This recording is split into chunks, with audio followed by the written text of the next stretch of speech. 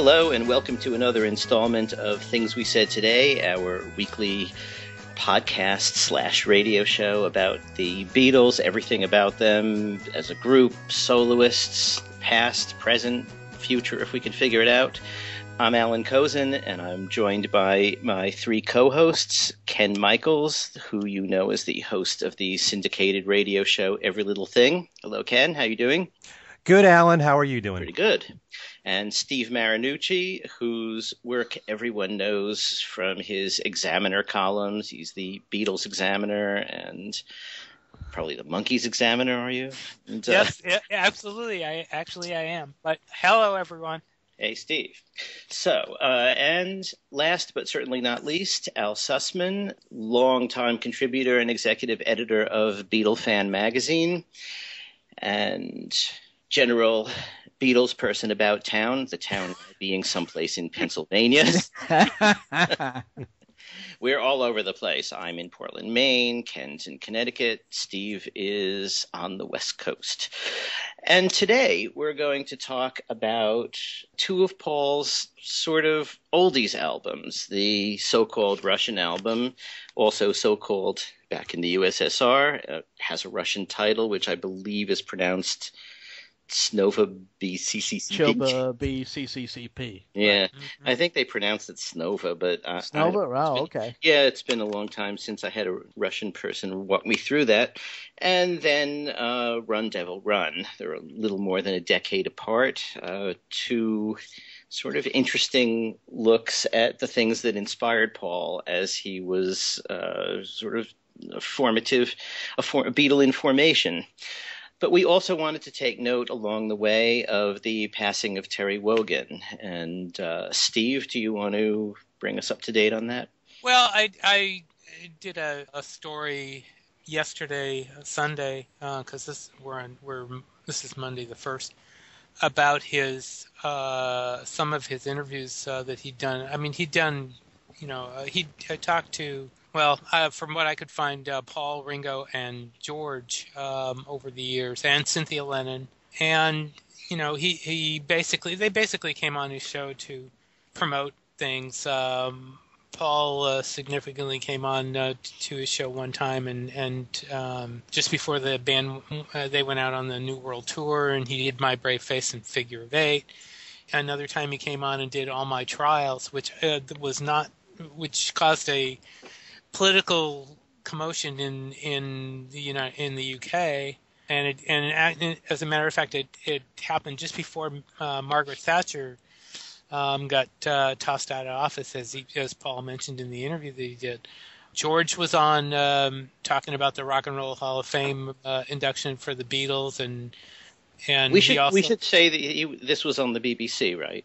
Right, right, yes. Right. Yeah. This was not; these were not shown in America, and, and there are clips uh, in the story I wrote um, from YouTube um, that uh, have little bits of the the interviews. And Ringo was on in uh, I guess uh, 2010, and uh, he talked about uh, the he talked about the Beatles actually, and he also talked about the autograph controversy, which had happened, I guess, shortly before that. Um, you know, and why he decided to stop doing autographs. But I mean, they basically wanted it was basically a a talk show, and um, Wogan was very, you know, was very folksy. He was good, you know, he wasn't the real.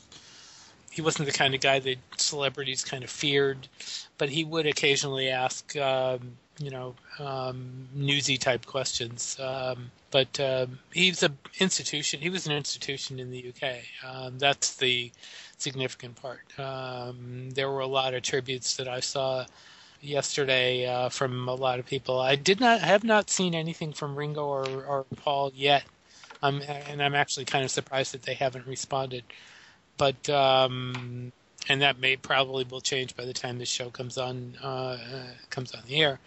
But um, he was, but Wogan was a was a big deal in the UK. He was. Uh, uh, I'm not sure who you would want to compare him to here because that there's really not a there's not too many national talk shows anymore outside of the political political ones, and that's not what he did.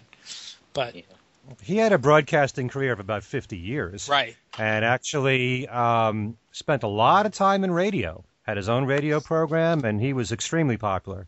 Just the mere fact that Paul McCartney, in particular, appeared on his show several times tells you something. Mm-hmm.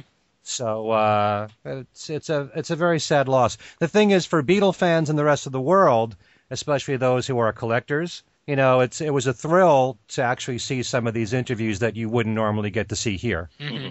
And very often there are times when the Beatles themselves would do interviews in England when they weren't promoting themselves much in the rest of the world. And and Terry Wogan was one of those people that was able to interview Paul George and Ringo. So that's very impressive right there, and Cynthia Lennon. Mhm. So Okay. And perhaps we should just acknowledge in passing, it's not really Beatles connected, but it's sort of their world connected in a way. Uh, the passing a few days ago of both Paul Kantner and Signe Anderson, the 1st singer for the Jefferson Mhm. Airplane, Yeah. on the same day. Yeah, that was Yeah. that was that was really scary. Yeah, that's that's Uh, spooky. That was that, that was very sad. Yeah. And and Signe Anderson really kind of got you know in the uh, in the aftermath of Grace Slick, er, nobody really paid a whole lot of attention to her, but she that one vocal on Chauffeur Blues that she sang on the uh, first album was really really good, really good. By the way, Julian was on wo- with Wogan too. By the way. Uh, Hmm. I as I see, but uh, I don't know that there. I, I don't know that there are any clips. There may be, but And actually, you, Steve, you posted a picture of Paul with Paul Kantner, right. Paul McCartney with Paul Kantner, Mhm. and Jorma Kaukonen. hmm Right. And then you got the story behind that. Yeah, well, that, that picture's been around, but I, through Matt Hurwitz, we got some information on where exactly uh, the picture was taken and and when. Um, the when wasn't really that hard because, you know, uh, the Paul's trip uh, to the West Coast had been documented, but the where was more interesting. And as a matter of fact, as I wrote up on the thing I, I put up yesterday um, on Fell Street in San Francisco. I've passed, I've driven on Fell Street many times. Um, a um, a favorite record store that uh, Alan may be familiar with um, that used to be in San Francisco. It's no longer there now. Um, was uh, one that I used to drive to Fell Street to get to. But anyway, that's neither here nor there. Uh, but um, yeah, so yeah, that was kind of that was sad, and uh, uh, I'm I, I I do like the airplane a lot. They're they're not just the Grace Slick stuff, but uh, Yeah. they were a great they were a great band. They were a great band. And Ken, you were pointing out that uh, just shortly after our show last week on uh, Beatlesque performers, uh, there there was some some follow up there that you wanted to mention. Yeah, it's pretty ironic that um, the day after we finished recording our show on Beatles music, I saw this article online from our very own Alan Haber, who runs Pure Pop Radio, that runs our show, and um, we were talking about Emitt Rhodes in our show, and I did say something to the effect that I heard that he was working on a brand new album. Don't know when it's coming out. Well, Alan knew all the information. There's a new album coming out from Emitt and it's due out February the 26th. It's called Rainbow Ends. We talked about Emitt because of uh, the similarities in his music to Paul McCartney, especially his first solo album, which was just called Emitt Rhodes, where he played all the musical instruments, and the songs sound very McCartney-esque. The instrumentation, all the different parts, very McCartney-esque. Anyway, so the new album is coming out February 26th, and also we mentioned the band Jellyfish in that show. Well, Roger Manning from the band and Jason Faulkner, who also played in Jellyfish and also on Paul McCartney's Chaos and Creation in the Backyard, they're on the album with Emitt Rhodes. Mm. So is Susanna Hoffs from the Bangles, who we could have talked about in the Beatles show, but we didn't. And uh, some of the members of Brian Wilson's band. Huh. So, um, man, it's something to look forward to. Those of us who have been waiting. This is his first new album, and I think, uh, what was it, 40, something like 45 years, I think. hmm Well, sounds interesting. And Roger Manning's going to be in the Super Bowl, right? Sorry, I couldn't help it. I don't think that's, yeah. Okay, so turning to our two Paul McCartney albums, let's uh, let's look at them chronologically. Um, starting with the Russian album, um, which, for those of you who tuned in late into the Paul McCartney story, uh, he recorded in 1987 at uh, basically auditions for the band that became the 1989 touring band. Had people come in and play uh, a bunch of oldies with him because these were things everybody knew and you know didn't take a lot of prep, didn't need to be taught to anyone. And then I think he liked the tape so much that he decided that uh, as a gesture um, after uh, Glasnost began uh, and things were opening up in, in the USSR, that, that he would put out initially just in the Soviet Union. Uh, it was still the Soviet Union in those days.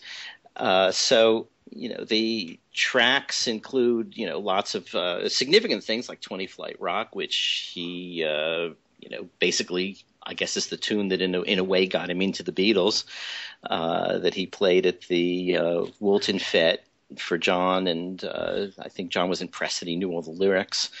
I'm in love again. Bring it on home to me.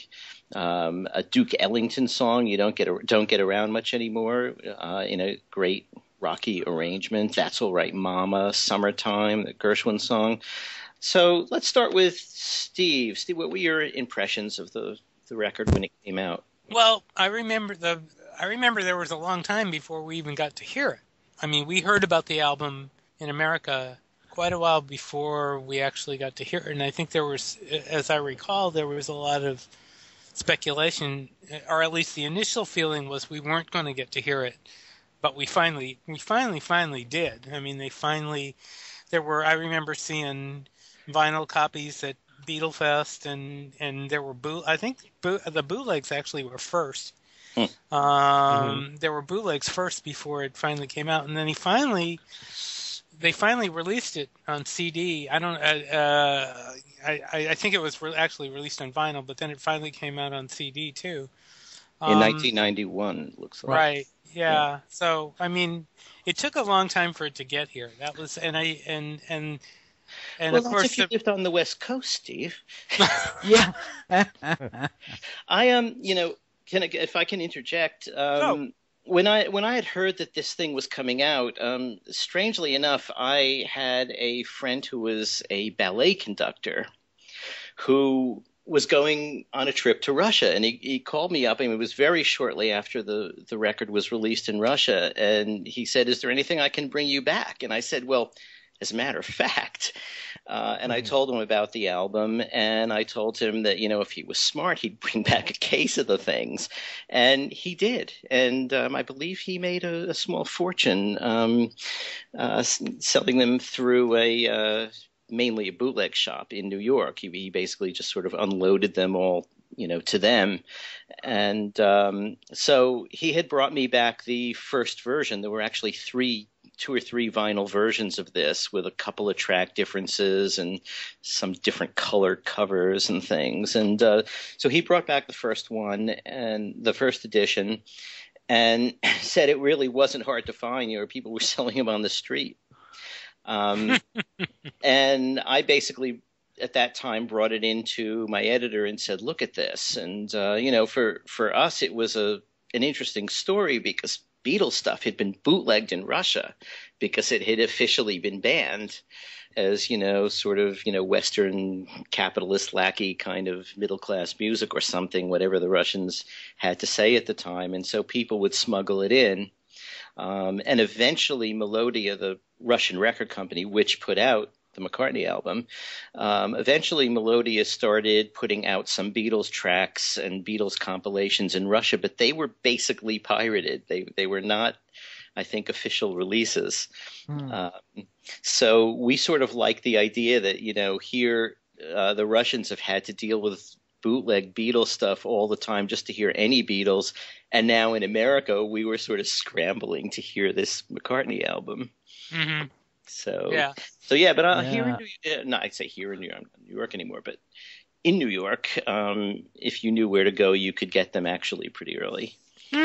well, matter of, matter of fact, yeah. I have a specific memory about about that that in fact involves Ken and our friend Tom Frangione, mm. because uh, Tom and I guested on Ken's show I think this is like the this uh, like the end of year in '87, And if I'm remembering correctly, Ken correctly if if uh, if I've got the story wrong, Tom had got had just gotten a copy of the it, album. I think for, it would have been the end of '88.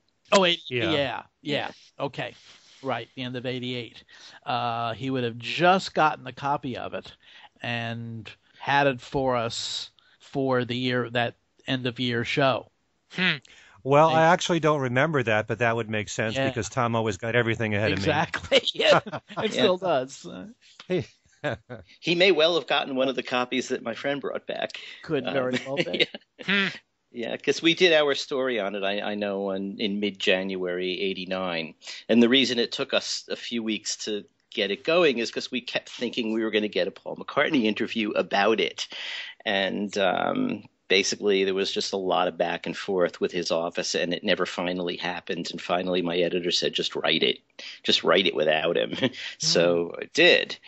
But we, we were sort of curious about you know if he would talk about what his reasons were and and all of that. But that didn't happen. So back to you steve. Mm. Well you know once i finally got to hear this i was thrilled i was absolutely thrilled um, it's raw enough i mean it's not it's not uh, your typical McCartney album. It's not you know really polished. He also didn't stick with all the obvious songs. There, there's a, a number of obscure songs in there that I mean that's really good. Um, you know, I mean he the "Don't Get Around Much Anymore" is has always been one of my favorite McCartney songs because of the fact number one, it doesn't sound like a Duke Ellington song. Right. And I think and that that's pretty that's pretty cool. And and it's also a great song. It's a great tune. Um, mm-hmm. But he did a fantastic version of that. Uh, just wonderful version. You know, uh, um, the Fats Domino songs were were really good. It was good to hear him do 20, 20 Flight Rock. This one is just a it's just a great it's just a great uh, album all the way. You know, just about all the way through. Mm-hmm. It, it really is. I mean, he did a he did a fantastic job. Um, I I don't know what to say. Uh, you know, I mean, uh, for all the times that you have to, you know, you criticize Paul for being too slick and and you know not uh, getting down and rocking with it. I mean, he really he really did with this, and so there yeah. you go. Yeah, well, that was one of the things about it. It was loose, and it was loose in the best way because it was mm-hmm it was really good musicians jamming on tunes they'd been playing all their lives, you know. Mm-hmm. So, mm. um, Al, you know, it's interesting. I for for some reason I was initially a little bit disappointed in the album only because I felt that it wasn't raw um it, it was it wasn't more of a raw rock and roll album. Knowing the fact that Paul is a you know he's he's a first generation unreconstructed rock and roller as well as a devotee of other types of music, but I would have thought that it would have rocked out a little bit more. Hmm. It's almost as if there was there was maybe even a little bit more of a uh, of an R&B, maybe even perhaps uh, New Orleans, perhaps rockabilly feel to it than just you know raw slam bam rock and roll. But it's uh, uh, it's interesting, you know. You, you look at the track listing and his Paul's devotion to Elvis really comes out in not only in this album but also Run Devil Run mm-hmm. because you've got his mm. uh, you've got you know Elvis's first record, "That's All Right, Mama." You've got um, uh, "Just Because," which is a uh, um, uh, actually a country tune that Elvis covered during uh, during the Sun era, as uh, as well as I'm looking th- as well as Lordy, Lordy Miss Claudie, which actually, of course, had been a hit for an R&B hit for Lloyd Price, but Elvis recorded it in 1956. Mm-hmm. So obviously that would have made a big impression on uh, on the young Paul. So so certainly his devotion to Elvis is very much uh, very much uh, present here, uh, as is his devotion to Fats Domino. Because mm-hmm. you've got mm-hmm. I'm in love again, you've got I'm gonna be a wheel someday, you know, both of which were uh, major hits for Fats. You've got uh, the, the, Midnight Special, which is actually, if I'm remembering correctly, was a bonus track on the CD, mm-hmm. which is, of course, an old blues song, as is uh, Crackin' Up, which was, um, is it? Bo Diddley. Bo Diddley, yes, mm-hmm. exactly. Thank yeah. you. So it's so it's it's very it's a very eclectic collection, but to me, it just didn't didn't seem to rock out as much as I think I would have I would have liked originally. But hmm. uh, but that's just you know that's just did it grow on you over the years? It um to some extent, but uh, as we'll talk about a little bit later, I still like Run Devil Run a lot more. Okay, hmm. Ken. Hmm. this is an interesting conversation. Um, actually, uh, when this album first came out, I liked it but I was I've always kind of treated the albums that were all cover versions like John's Rock and Roll. I never I don't want to say I, I liked it less, but I never gave it the consideration as I would the original material. It was almost like a bit of a disappointment that it's not an album with all original material. But as time has gone on and you learn the history of the Beatles, especially through the work of Mark Lewisohn, because when he put out his first book, The Beatles Live, and that was a book that I used to devour because I love looking at the the track listing of the songs they used to do in their early years that they never released. Yeah. And there's so much great music that the Beatles loved from the 50s and early 60s and even pre rock and roll that they never got around to recording as a group, mm-hmm. whether it was for Parlophone or whether, well, they did a lot on BBC Radio. Thank God we have those recordings. Right. Mm-hmm. But outside of that and Tony Sheridan stuff and the Star Club, if you look at what Mark had written in the Beatles Live, many of the songs that they were doing from 57, 1957 on, turned up on the Russian album mm-hmm. and Run Devil Run, and also on John's rock and roll album. Mm-hmm. And one of the things that I, I really appreciate, and Al, you were just talking about this, we just did a show on black influences. Right. And we mentioned Fats Domino a lot, but the Beatles for Parlophone never recorded a Fats Domino song. Right. And uh, yes, Lady Madonna was written in, in the Fats Domino vein, and Fats went on to cover it, but they never did cover Fats. They never did cover Elvis Presley for Parlophone. But thank God they did on BBC Radio. Yes. you know, and also Paul McCartney did it, uh, you know, on these albums these two albums. And John would do Hound Dog Live, you know, that kind of thing. So there's a couple of artists there that were not represented, certainly in the Parlophone catalog from the Beatles, but you have them on both these albums. But um, I was a little bit surprised when the Russian album came out because when I did listen to it, it was very loose, as you said, Alan, and I wasn't used to that from Paul. Mm. He has put out raw albums. I would consider Wildlife very raw. Mm-hmm even some of the like Red Rose Speedway to me is a bit raw. The first McCartney album is raw. It doesn't have that polish to it. So there have been times when he's put out raw stuff, but this had a looseness to it. It's almost like you were walking in on a rehearsal. You were walking in on a and, rehearsal. Mm-hmm. In a way, you know, it was an audition. So that's yeah, why it had that sound, you know. So some people like that. And over the years I've really come to love the Russian album uh, well, you know, you mentioned the word eclectic, Al, and that's what Paul McCartney has always been, even in this case. Exactly. Because you've got a you've got a song like "Cracking Up," which to me is sort of almost reggae-ish. I think in its arrangement, sure. mm-hmm. uh, you know, taking "Don't Get Around Much Anymore" and rocking that out, and I I do love that arrangement a lot. You know, uh, "Summertime" doing a slow version of that song, the George Gershwin classic, which the Beatles used to do. They used to do yeah. summertime Lot," And in fact, there's that, fact, that, that one among the you know relatively few remaining Holy Grail recordings is that one that they did backing Lou Walter um, in right. Germany. And you, you, know you listen to this and you wonder is it is it an arrangement similar to this? And it may have been. Mm-hmm. Just before doing this show, just for the heck of it, I took the Mark Lewisohn book out, The Beatles Live, and I just wrote down a list of the songs the Beatles used to do that ended up on either the Russian album, Run Devil Run, or John's rock and roll album that they didn't release as the Beatles. Mm-hmm. So very quickly, I thought I'd just read off this list. All Shook Up, they used to do, right. Elvis's song. Uh, Be-Bop-A-Lula. Uh-huh. Blue Moon of Kentucky, I put in there since since Paul did that uh, on Unplugged. Boney Maroney, Lordy Miss Claudie, The Midnight Special, No Other Baby, which he also rehearsed during the Russian album as well. Mm-hmm. Peggy Sue, Summertime, uh, 20 Flat Rock. Also Honey Hush. Um, it's Now or Never. Um, yeah, those are the ones right there. So it gives you an idea of some of the other material the Beatles used to do. And obviously, when you hear this stuff as well as John's rock and roll album, you get a feel for what were their favorites, some of their favorites. There's no way that the Beatles, when they were cranking out two albums a year and they wanted to put a lot of their own original material in there in their early years, they couldn't they couldn't give you every song they loved from the 50s sure. and the early 60s. So, you know, that's why I treasure the Russian album now as well as Run Devil Run because you get a feel for more of what they loved.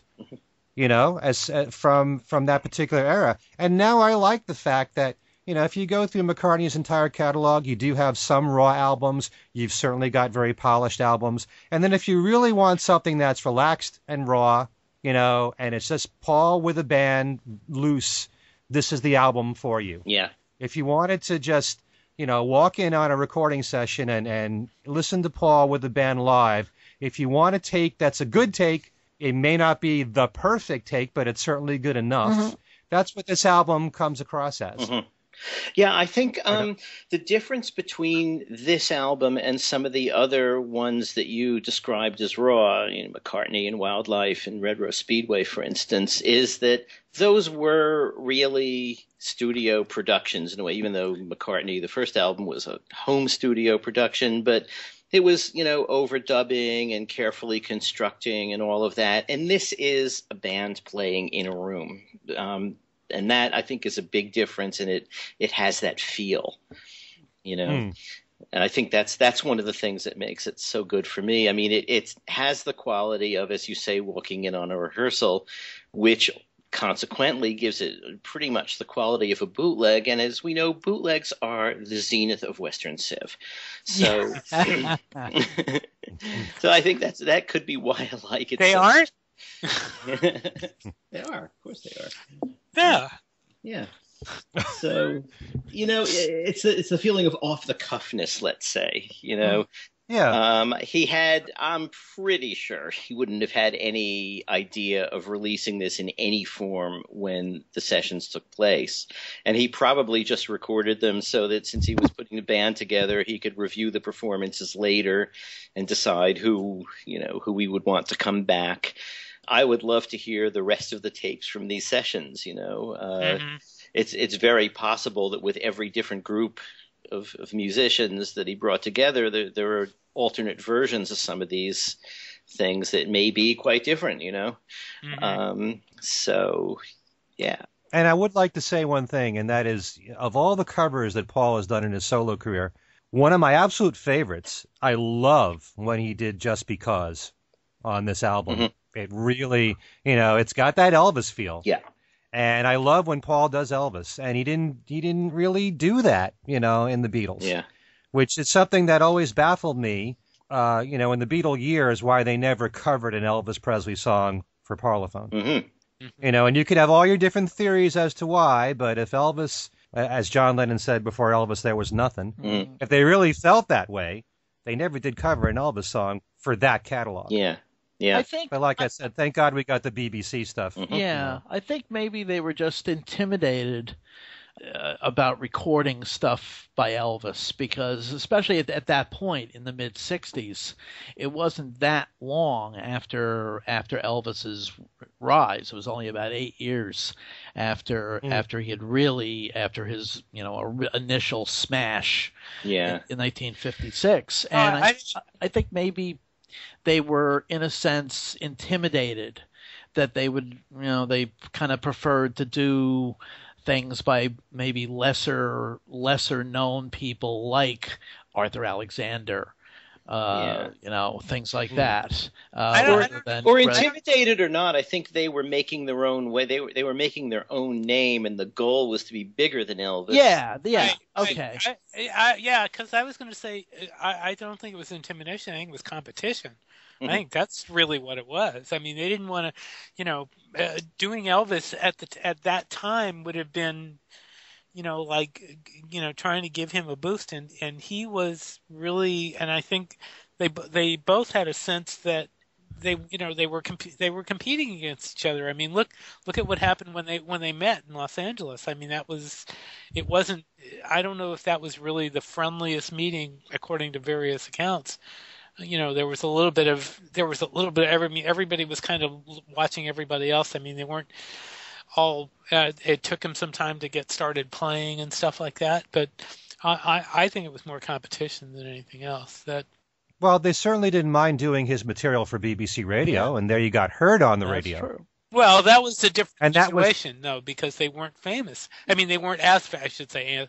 They weren't, you know. I mean, depending on when they did it on on BBC Radio, they were either they hadn't really broken through, or they were just break. They had just you know, I, I think that's a different situation. Um, and in addition, this was a radio performance that they envisioned as being just heard in England and not being heard again, you know, yeah. just live on the radio. Exactly. And it, yeah, so it was a different thing mm-hmm. than making a record and releasing it internationally, you know. Mm-hmm. Right. Right. Okay, but at the same time, you could say that in England, when they were doing That's All Right Mama mm-hmm. on BBC Radio, they were the biggest band in England at that point. That's true. Mm-hmm. They just weren't international, that's all. Right. But um, you know, and they were playing please, it. Please me. They were playing it to some degree for an audience, some of which, some of whom may have heard them play it live in their early days too. Yeah. So it wasn't that different. You know, that audience heard a different Beatles than we heard in, in a certain way. You know, they mm-hmm. heard them as a cover band much more than we did. Um, mm-hmm. And they may have been, I don't know, they may have been mindful of all this stuff, or it may be completely coincidental. Who knows what they were thinking.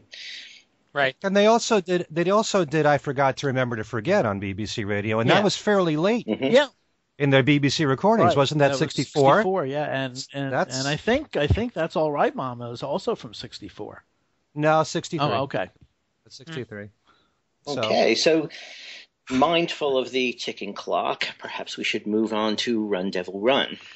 Okay. And um, I thought maybe Al, if you wanted to talk about the genesis of the album and you know why he did this and how he got the band together who's in it, that kind of thing. Well, it's it's real interesting because this was actually the first professional project that Paul did following Linda McCartney's death.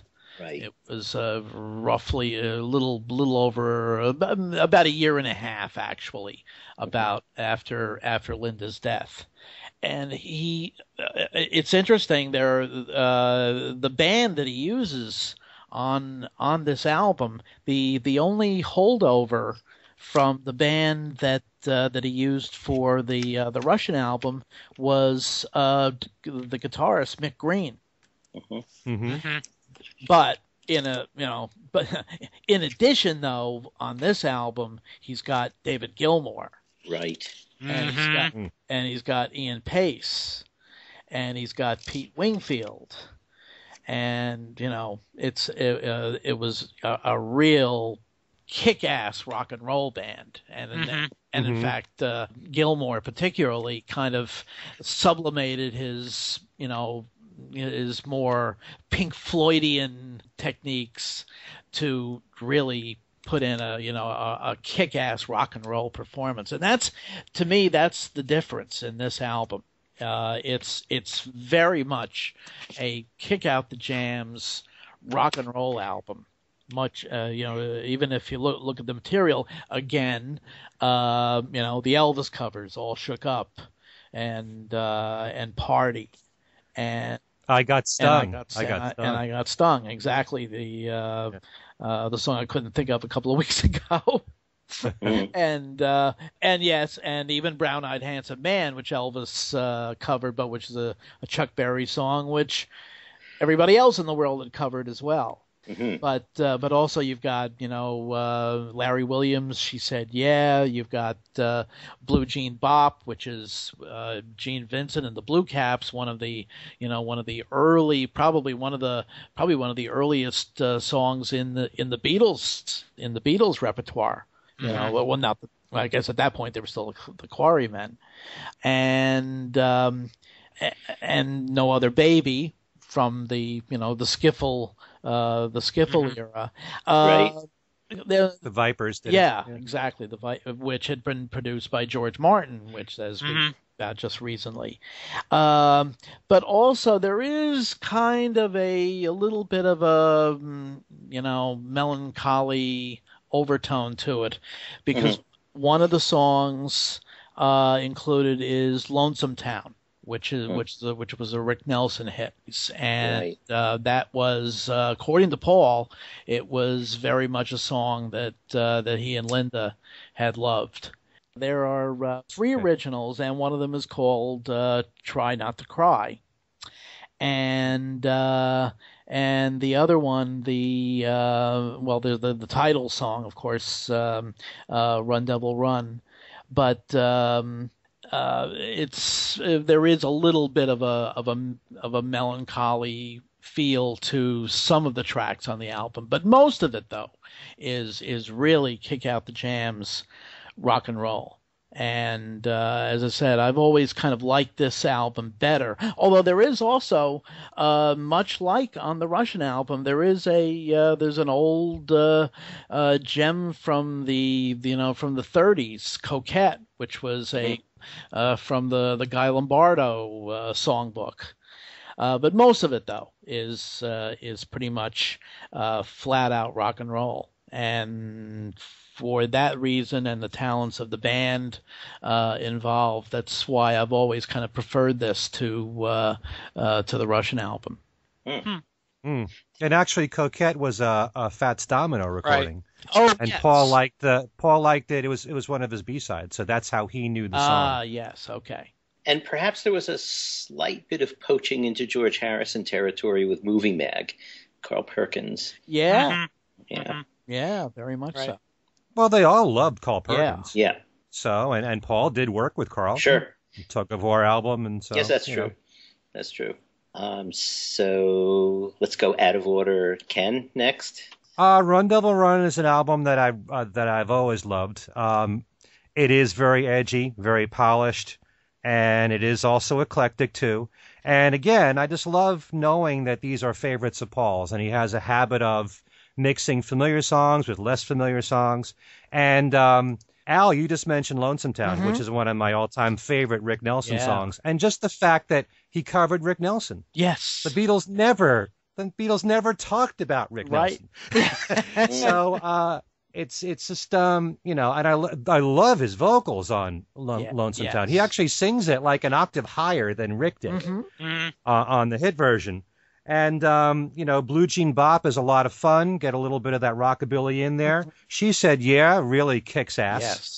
Yeah. I mean, you know, and um, all shook up is a, is a very different arrangement, also from the way that Elvis did it. Mm-hmm the original songs that Paul did, I love, and the fact that he they're not just original songs, but he tried to write them in a 50s style. Yes.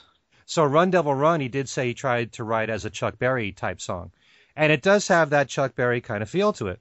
There's a song in there, one of his originals is an absolute favorite of mine called What It Is. Yeah. That song really, that's another one that, that kicks butt mm-hmm. right there. And uh, I love when he does a song that just starts immediately with vocals you know, and there's so much energy in that song. Um, you know, that that's one of my favorite and there's so many great rockers from Paul's career, but that's that's one of my favorites right there. Um, doing Coquette. Again, it's a B side in his mind. A Fats Domino B side. Mm-hmm. The arrangement that he did to Brown Eyed Handsome Man is more of um uh Cajun type feel to it. So, you know, th- just the fact that they put some work into it and did something different than the way that Chuck Berry did it. Mm-hmm you know, I love that uh, party really rocks. I got stung is just it's it's really electric that version there. You know, the whole thing overall. I love the fact that um, this band really rocks. And when you've seen footage of them, and and Allan, you can talk about this because you saw Paul at the Cavern with this band. Mm-hmm. This band really cooks. Yeah. And not to say anything about the band that he's had now for the past 15 years, but I certainly would have loved to have seen him tour with a band like this one. Yeah. So, um, you know, I, I, saw him on a British TV show doing Honey Hush, which is another song mm-hmm. that's a great rocker on here.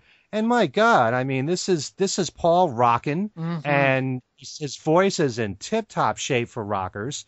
And uh, you know, it just seems like whenever Paul needs to recharge his batteries for whatever the reason, the best way to do that is to go back and do 50s rock and roll. It seems to be maybe that was part of why they did a lot of 50s rock during the Let It Be sessions, mm-hmm. including Honey Hush, by the way.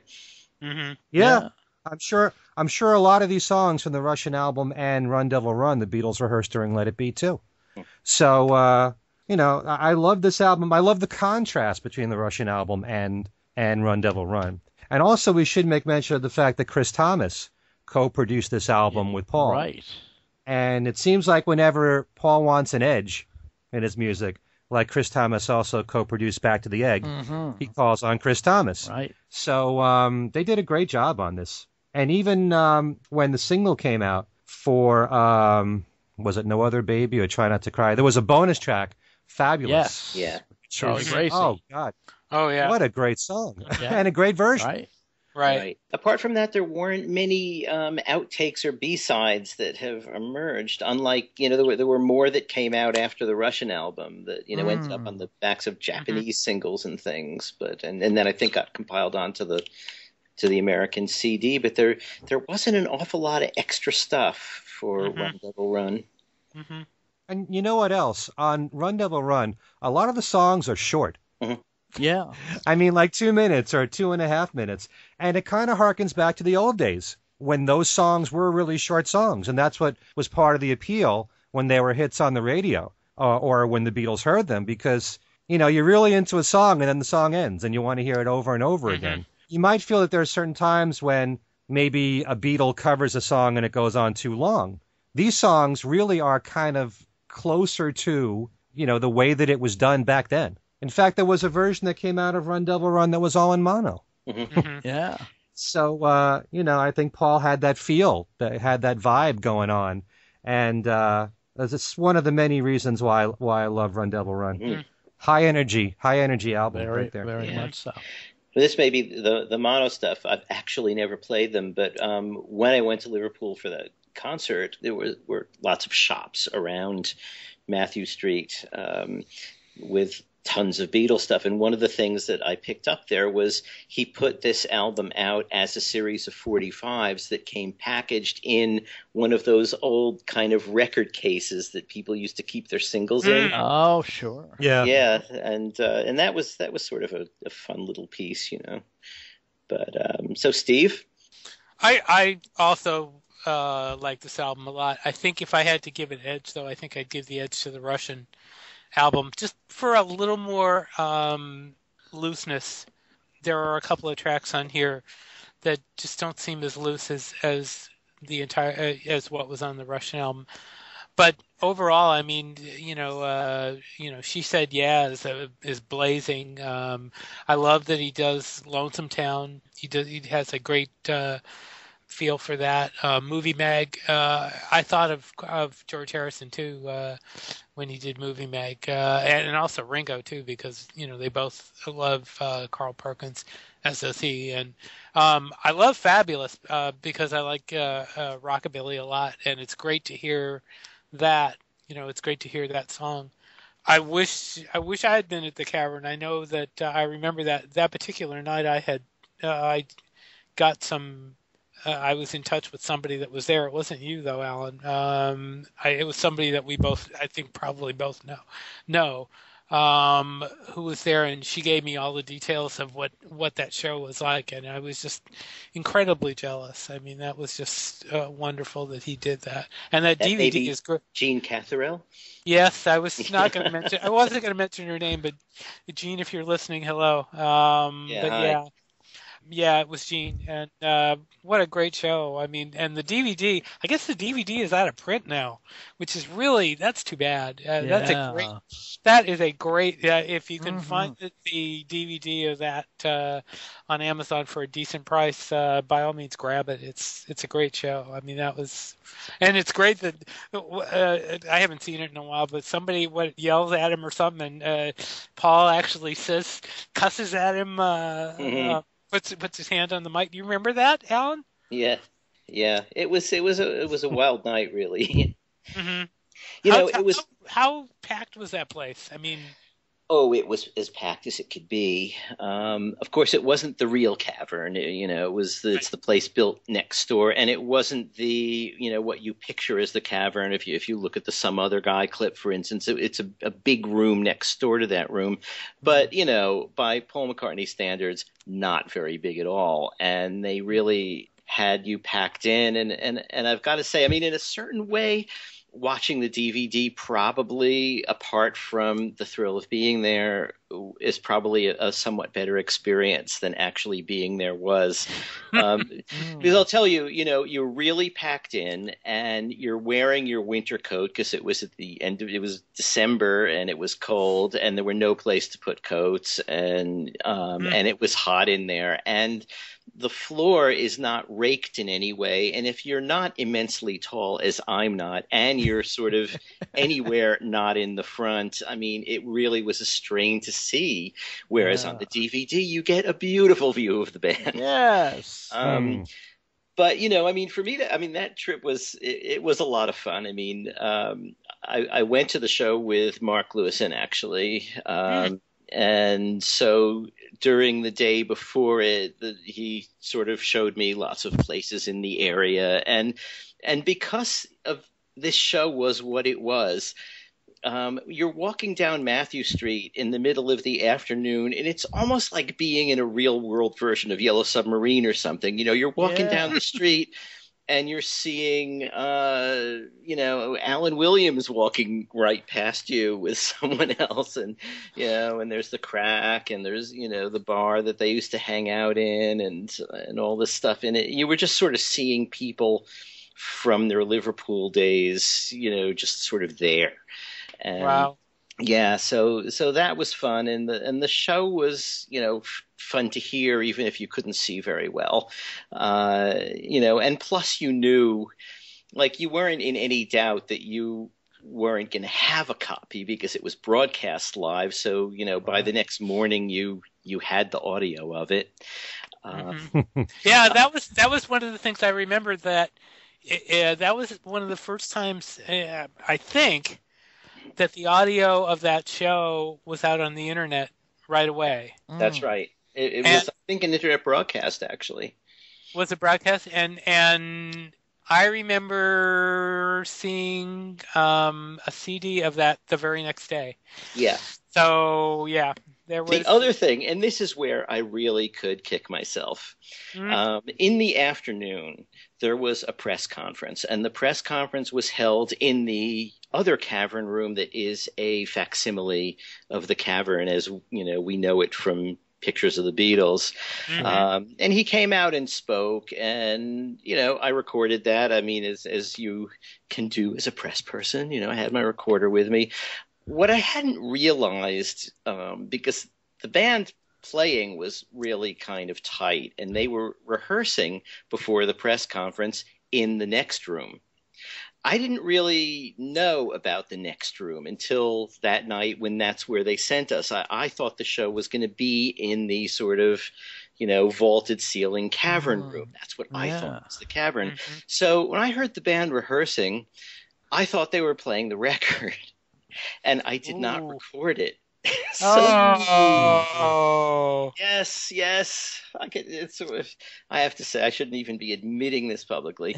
having, having once turned up at a, a McCartney rehearsal before the '89 tour, there was a there was a round table that they did at the Lyceum Theater with the uh, yep, interview yeah. uh, before the press conference. There was a press conference at the Lyceum Theater yes. where they played, but the day before they had a small press round table with maybe a half half a dozen reporters. Mm-hmm. And I went to that and when I was sitting in the Lyceum Theater waiting for the press conference, Paul came out and started playing drums.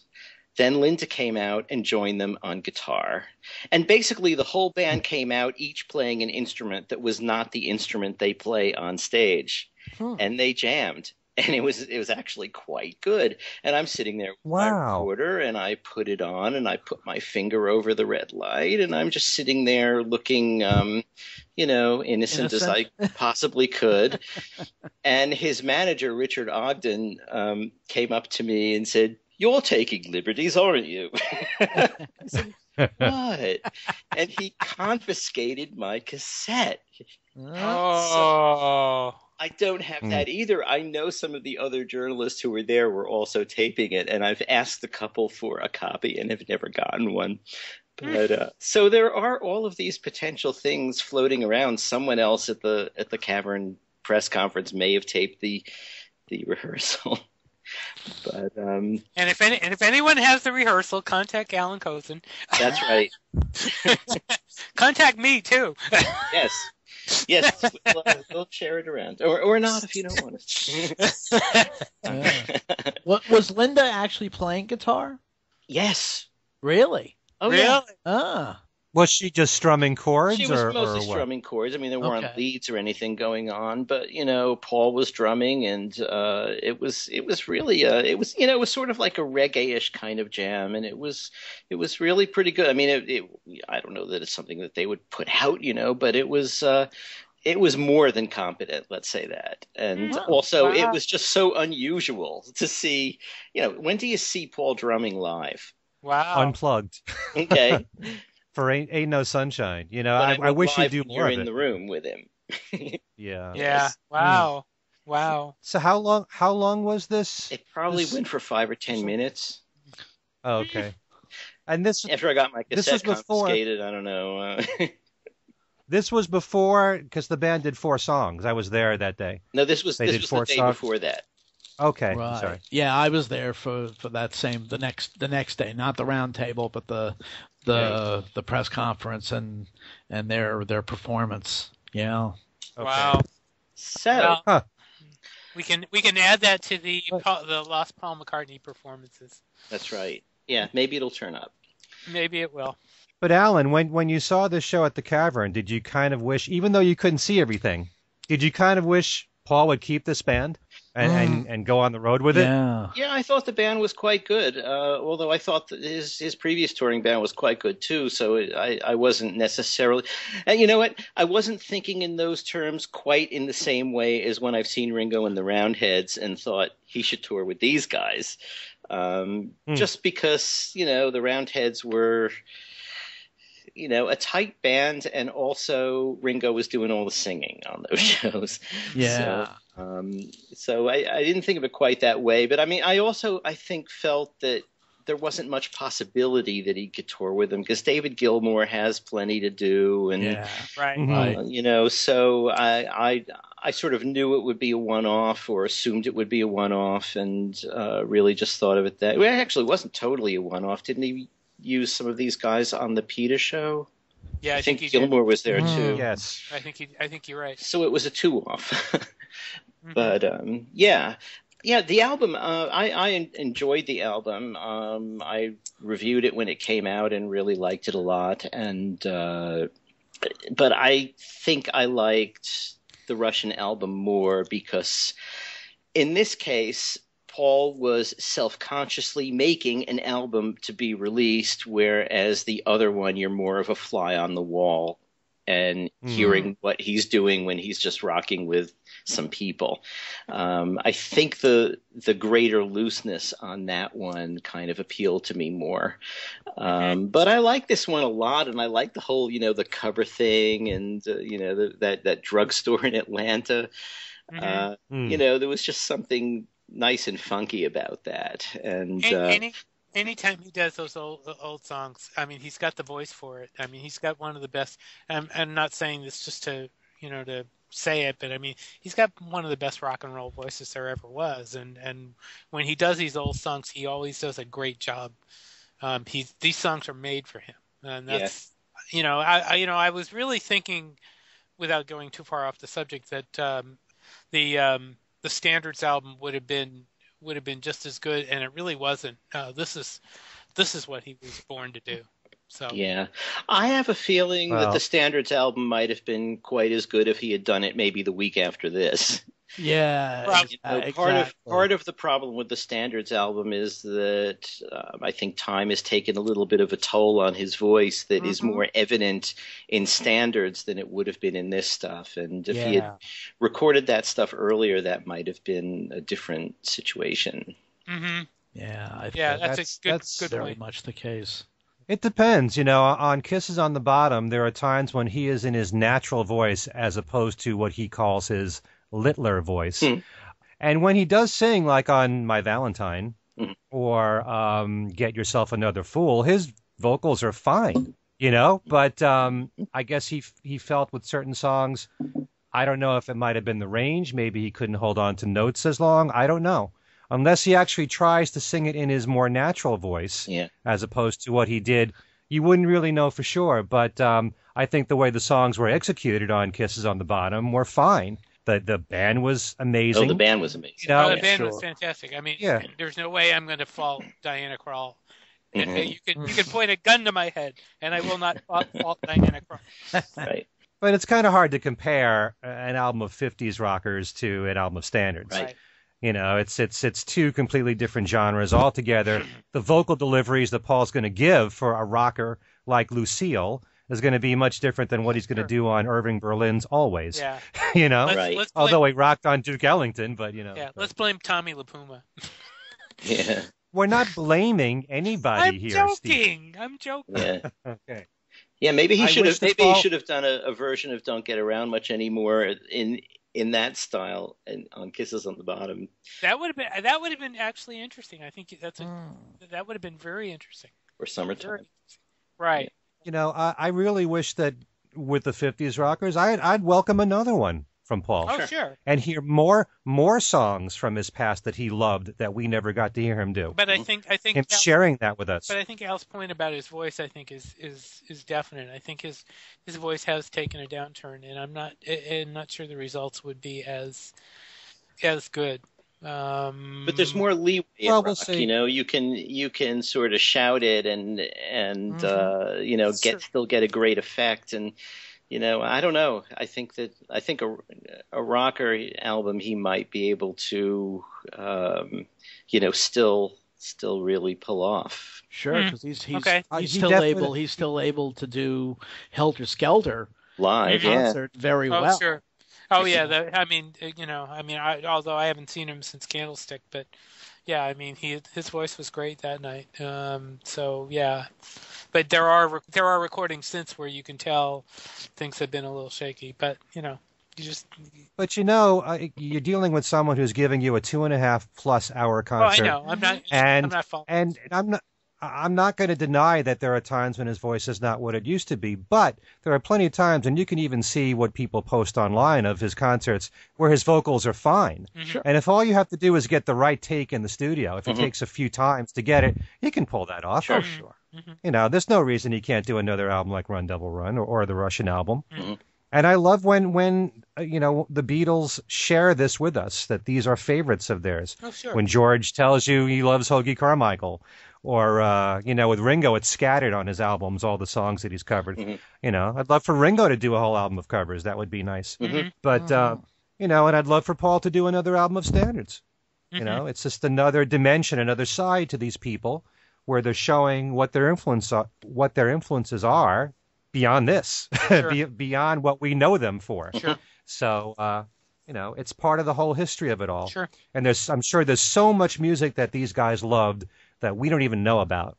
So every single time we get a glimpse of it on an album like Run Devil Run or the Russian album, I, I, I welcome it. I appreciate these two much more than I ever have. Well, I now. think I think that goes back to all the influences, you know, that we talked about.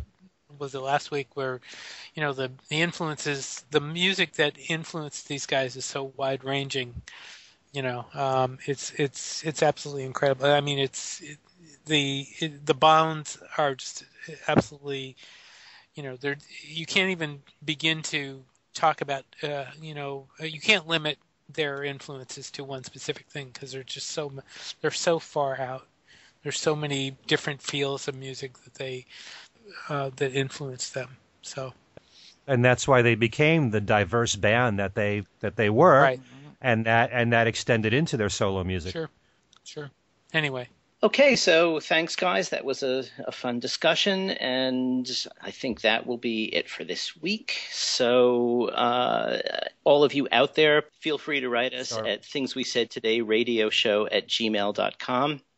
We, you can follow us on Twitter or post comments on Twitter. Uh, we're at the at symbol things we said fab. And uh, you got it. You got it. You got it. I've got it written down on a piece of paper. Oh, okay. Um, and we all have Facebook pages. Um, and be sure to tune into Steve's Examiner columns. Um, keep up with all the news. And uh, we will be back with another show next week. And so for Steve Marinucci, Ken Michaels, and Al Sussman, I'm Allan Kozinn. Thanks for tuning in, and we'll see you next time.